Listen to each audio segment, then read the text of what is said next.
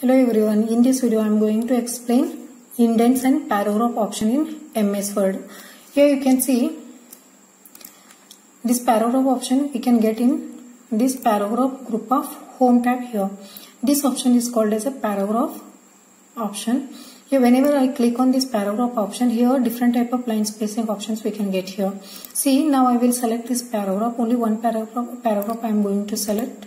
You can apply more spacing option on this paragraph. You can see the difference what difference what is happening in selected text here you can see how much distance that all each how much distance it is applying for each lines in this document.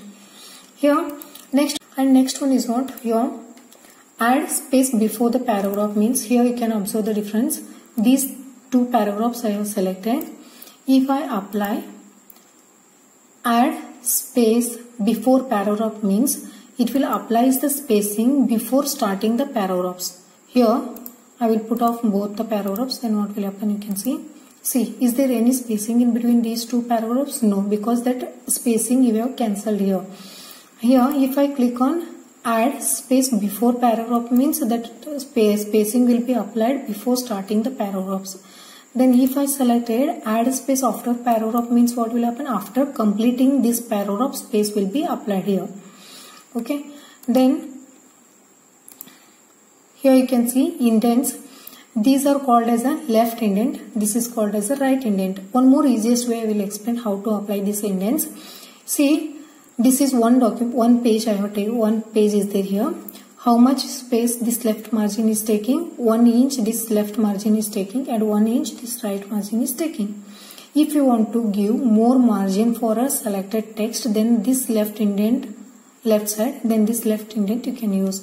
If you want to give more spacing for a right margin then this indent option we can use. Just you need to select the text which text you wanted to move right side and left side and click on this left indent then just to move right side then automatically that text will move to the right side. Then if you want to give more margin at right side then you can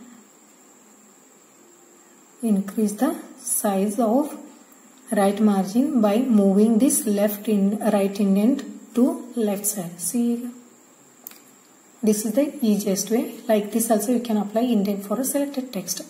And here left side you can see one top mark you can see here. This marks whenever you move this top option, top indent, first line will move. You can see. This is called as a paragraph indent. Okay. Next one. This I will explain with the options here. Both ways I will explain. This is the one way one more way is there here. This is the left indent. This is the right indent. Means increase indent you can increase the indent see here. And if you click on this decrease indent that left side text will move from move to left side. Okay. Next one you can see here. Click on line spacing option.